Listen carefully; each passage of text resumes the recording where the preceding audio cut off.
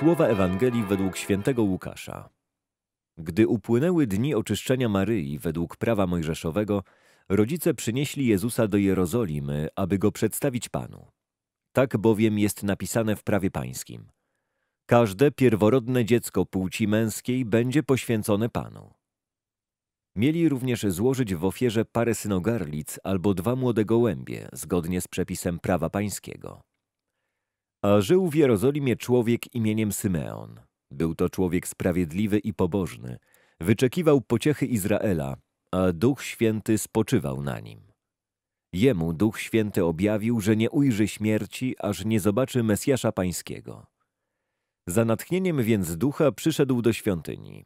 A gdy rodzice wnosili dzieciątko Jezus, aby postąpić z nim według zwyczaju prawa, on wziął je w objęcia, błogosławił Boga i mówił: Teraz, o władco, pozwól odejść słudze Twemu w pokoju, według Twojego słowa. Bo moje oczy ujrzały Twoje zbawienie, któreś przygotował wobec wszystkich narodów. Światło na oświecenie pogan i chwałę ludu Twego Izraela. A jego ojciec i matka dziwili się temu, co o nim mówiono. Symeon zaś błogosławił ich i rzekł do Maryi, matki jego – Oto ten przeznaczony jest na upadek i na powstanie wielu w Izraelu i na znak, któremu sprzeciwiać się będą. A Twoją duszę miecz przeniknie, aby na jaw wyszły zamysły serc wielu. Była tam również prorokini Anna, córka Fanuela z pokolenia Asera, bardzo podeszła w latach. Od swego panieństwa siedem lat żyła z mężem i pozostawała wdową. Liczyła już osiemdziesiąty czwarty rok życia. Nie rozstawała się ze świątynią, służąc Bogu w postach i modlitwach dniem i nocą. Przyszedłszy w tej właśnie chwili, sławiła Boga i mówiła o nim wszystkim, którzy oczekiwali wyzwolenia Jerozolimy. A gdy wypełnili wszystko według prawa pańskiego, wrócili do Galilei, do swego miasta Nazaret. Dziecię zaś rosło i nabierało mocy, napełniając się mądrością, a łaska Boża spoczywała na nim. Rodzinę nie stanowi grupka ludzi powiązanych pokrewieństwem lub powinowactwem. Rodzina jest wspólnotą osób złączonych więzią miłości.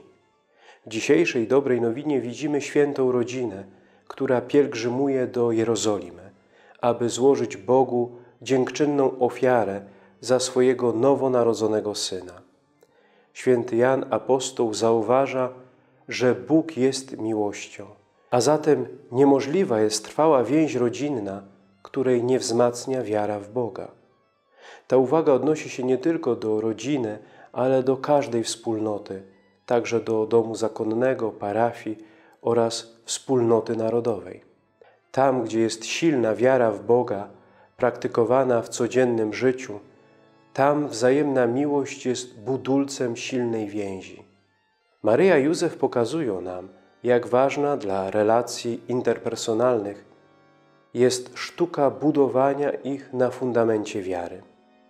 Możemy dziś zapytać samych siebie, czy nasze relacje z innymi ludźmi budujemy w oparciu o chrześcijańskie wartości, czy o coś innego, na przykład hedonistyczne zaspokajanie własnych potrzeb. Na ile w relacjach z drugim człowiekiem kieruje się miłością i duchem służby bliźniemu, a na ile chęcią osiągnięcia jakichś własnych, partykularnych korzyści? Kształtujmy w sobie ducha ofiarnej miłości.